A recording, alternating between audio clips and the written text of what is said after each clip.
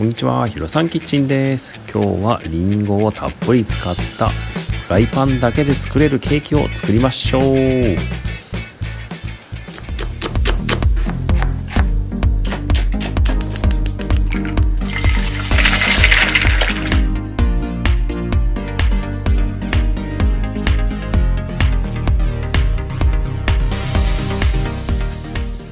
はまずリンゴの皮を剥いて半分に切ります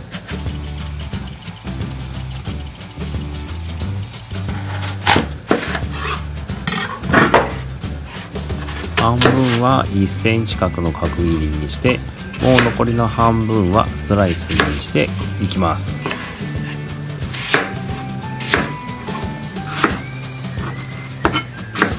角切りにしたリンゴは生地に入れていきます。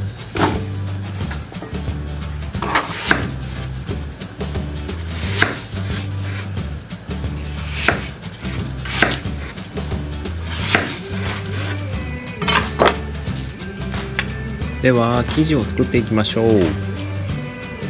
レモン汁を小さじ1入れてシナモンを少々パッパッと入れてもらって牛乳を 50cc 卵を1個砂糖を 20g 入れます。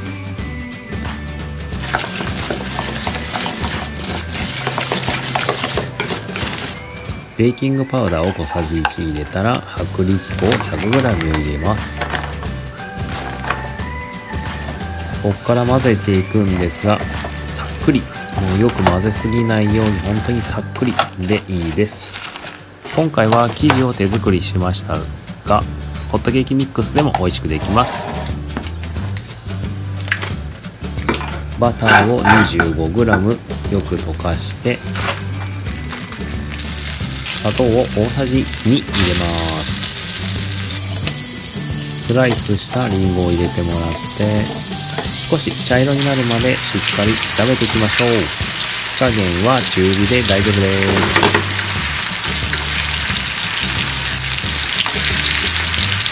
す。リンゴの周りが茶色になったら放射線状に並べます。火加減をここでごく弱火に落としてもらって生地を入れていきましょう。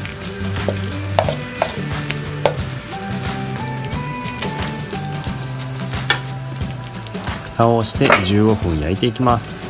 ここで一つポイントなんですが5分くらいに一度こうやってフライパンを動かすと焦げにくいです。15分経ったら火を消して蓋をしたまま5分ほど蒸らしておきます。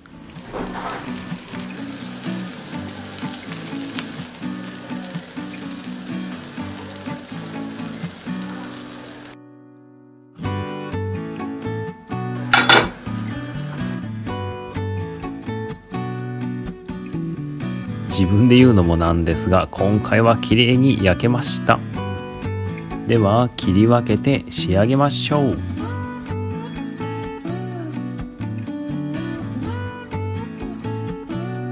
タルトタタン風パンケーキ召し上がれ。